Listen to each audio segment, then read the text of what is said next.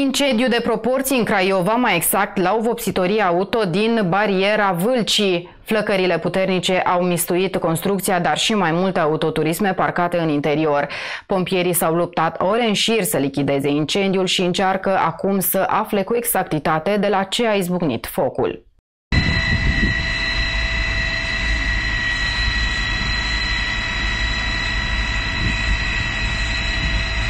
Potrivit ISU Dolj, a existat și pericolul de extindere la o patiserie de lângă hala cuprinsă de flăcări, dar și la alte șase mașini parcate în apropiere. Două autoturisme au fost mutate, dar alte două aflate în interior au ars. Exista posibilitatea propagării la un laborator de patiserie în suprafață de 670 de metri pătrați, dar și la șase autovehicule parcate în apropiere, impunându-se evacuarea a două dintre acestea. Au ars hala construită din lemn în suprafață de aproximativ 200 de metri pătrați, dar și două autoturisme. Cauza rămâne a se stabili ulterior, au transmis reprezentanții ISU Dolj. La fața locului au acționat cinci autospeciale.